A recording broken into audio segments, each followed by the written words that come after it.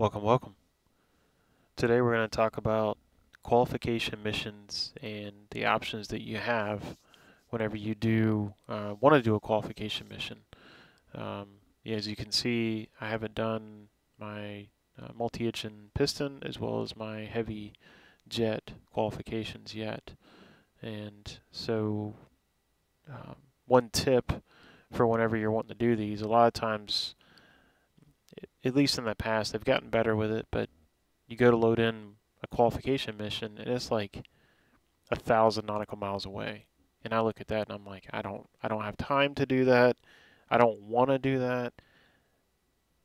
You know, what are my options? Well, you can um, you can keep clicking it again.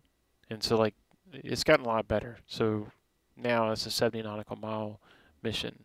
But for some reason, if you did not want to fly to that airport for whatever reason, you can go back to the tab and click it again. And it takes you to a different airport. And you can see this one's actually a private one. This got X's all over it, so you go back to it, click it again. And that takes you to a golf course one, which is pretty cool. So that's a tip to do a qualification mission that you want.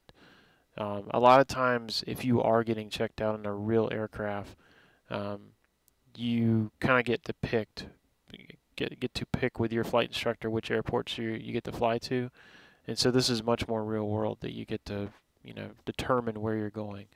So um, take advantage of this and, and pick an, an airport that um, is not under the minimums of the aircraft, especially if it's taken into a, a 1500 foot grass airstrip. You know, take a look at the airport, do the flight planning, make sure you know where you're going into. That way you can have a successful qualification mission and, and have a lot of fun doing it. So if you like these type of videos, feel free to like and subscribe. Check out my uh, content, and uh, we'll see you next time.